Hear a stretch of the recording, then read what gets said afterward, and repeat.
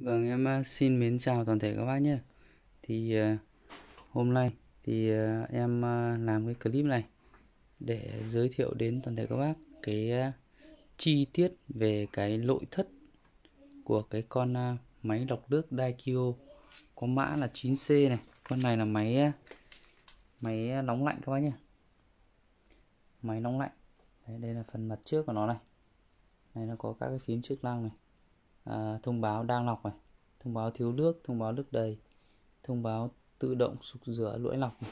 thông báo nước nóng thông báo nước lạnh đấy hai vòi bên nóng bên lạnh thì à, các cái lần trước ấy, thì à, em chỉ à, giới thiệu đến các bác sơ qua được thôi về các cái phần lõi lọc đấy còn hôm nay thì em sẽ đi sâu chi tiết đến toàn thể các bác về cái phần mạch điện bên trong nhé đấy, em sẽ sâu cho các bác chi tiết luôn.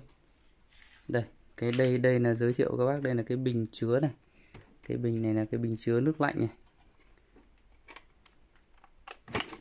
Đấy. Bình chứa này thì được 3 lít các bác nhé. Đấy, nó có một cái à, cái cái cái à, phao này. Đây, công tắc phao đây. Khi mà nước đầy nó sẽ ngắt.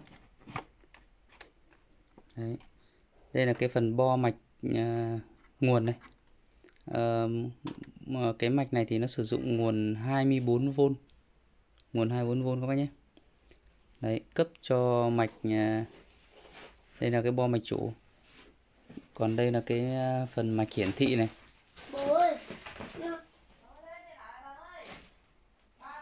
Đấy, thì cái này nó có một cái con dưa le đây. Con dưa le này thì đây có hai hai con dưa le các bác nhé. Hai con dưa le này là hai con dưa le mà nó đóng ngắt cái phần uh, đây khi mà chúng ta bật công tắc nước nóng hoặc nước lạnh thì nó sẽ đóng ngắt hai cái con dưa le này. Đấy các bác này. Đấy, nó đóng ngắt để nó cấp điện để cho hai hai cái con dưa le nó cấp điện để cho block chạy và cái uh, cái phần uh, đun nhiệt phần gọi là cái còng ấy của cái phần làm nước nóng hoạt động. Thì đây là cái con con sensor này con cảm biến nhiệt này. Đấy con cái này thì có thể đây nó có cái tố vít này và cái ốc bốn cạnh này. À, cái ốc lục giác này chúng ta có thể điều chỉnh được nhiệt độ nó về sâu hơn nhé. Nó về lạnh sâu hơn được nhưng mà nhà khuyến cáo thì cũng à nhà sản xuất thì cũng khuyến cáo chúng ta này không nên tự ý điều chỉnh. Đấy. Đây, tất cả hệ thống à, đèn báo rồi dây dợ đều được đưa lên cái phần bo mạch bo mạch chủ này bo nguồn này. Đấy phía mặt sau đây. Hai công tắc à, nóng lạnh đây. Đấy, ở đây là cái công tắc.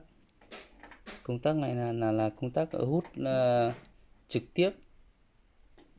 À, nếu mà khi khi mà cái cái nguồn nước mà vào nhà các bác ấy nó yếu thì các bác ấn công tắc này vào. Thì nó sẽ máy bơm sẽ tự động nó hút trực tiếp. Đấy.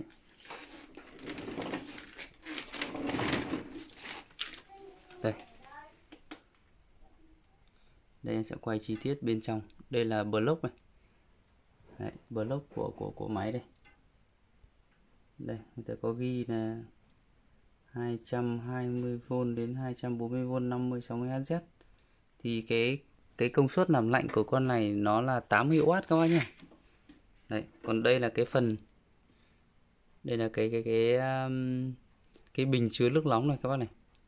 Đấy bình chứa nước nóng thì ở trên cái con dưa le này trên con dưa le ở dưới này thì nó có một cái nút reset để trong cái trường hợp mà chúng ta không để ý ấy, là khi mà lọc nước mà bình nước này chưa đầy mà các bác à, vô tình các bác bật vào cái công tắc màu đỏ này là công tắc nước nóng ấy thì cái con dơ le này nó sẽ nhảy.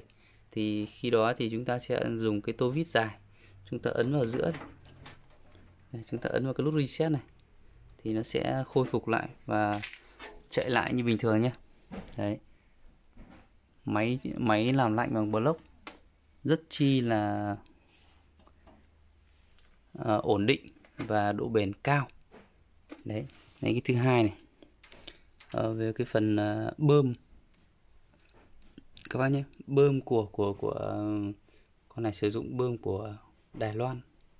Đấy, nguồn cũng của Đài Loan. Nói chung là toàn bộ tất cả các cái cái linh kiện này đều được nhập khẩu từ Đài Loan Hàn Quốc và Mỹ. Đây là cái màng RO đao này. Thì uh, so với tất cả những cái ờ, con máy lọc nước khác thì cái con máy lọc nước này nó hơi khác một chút là nó sẽ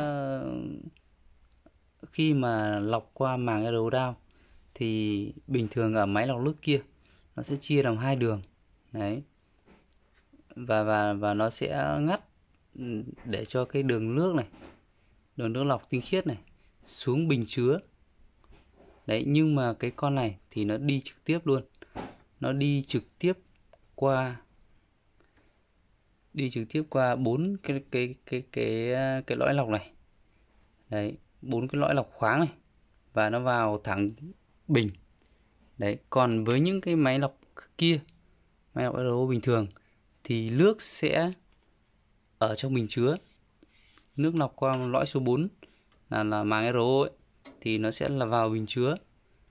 Thì khi mà chúng ta mở vòi, thì từ bình chứa đấy nó mới đẩy qua các cái quả lọc này. Nó mới ra vòi cho chúng ta uống. Đấy, nhưng mà nhưng mà cái này thì nó lại khác là nó sẽ lọc xong nó sẽ đẩy trực tiếp qua các quả lại luôn.